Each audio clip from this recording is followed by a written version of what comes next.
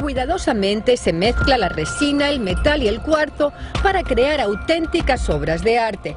Pero la magia de estas piezas no reside solo en su belleza externa, sino en su poder interno, donde la química y la alquimia se conjugan para crear escudos energéticos, las orgonitas. Lo que hacen es organizar la energía que se encuentra en el ambiente y la transmuta de una manera armónica alrededor de, de ella. Las orgonitas son descritas como el antídoto contra el mal del siglo XXI, la polución electromagnética, que según estudios afecta a una de cada mil personas. Según estos expertos, las transmisiones inalámbricas le roban las cargas de iones negativos a los seres humanos, algo que es vital para el buen funcionamiento de todo organismo. La contaminación electromagnética eh, producida por antenas de radio, televisores, microondas. Esas ondas van viajando por el espacio y le van restando esas cargas negativas a esa energía vital, ¿verdad? Y esta le va restando iones, le va quitando, entonces la energía vital se desordena, se vuelve caótica. Y hace que las personas se vuelvan un poco más agresivas, tengan, tengan dificultades para conciliar el sueño. Eh, problemas de comunicación entre las personas porque están irritables.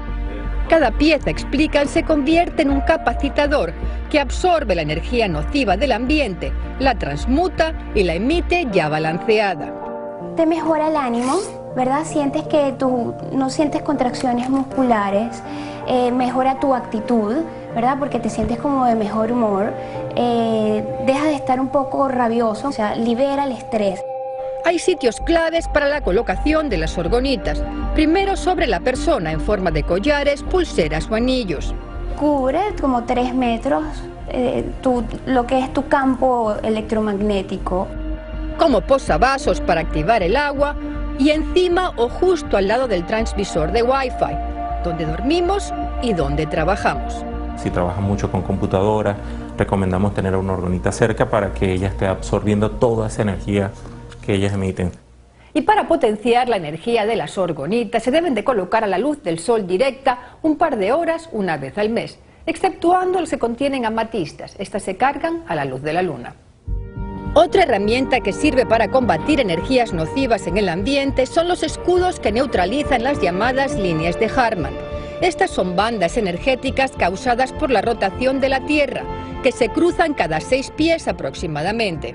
En los cruzamientos se produce una energía muy densa. Si lo tenemos, por ejemplo, bajo la cama, a donde estamos 7, 8 horas todos los días, o lo tenemos bajo un escritorio donde trabajamos 7, 8 horas todos los días, ahí tenemos un problema. Esas energías densas de los cruzamientos de líneas de Hartmann pueden llegar a enfermar nuestro cuerpo físico. Para neutralizarlas, asegura este experto, se coloca uno de estos escudos a cada lado de la cama y uno en la pared de enfrente, formando un triángulo se transforma en un vórtice energético de energías muy positivas que compensan y transmutan las energías nocivas. Asimismo, también recomienda colocar uno de estos escudos en el teléfono celular. Antídotos modernos para males modernos.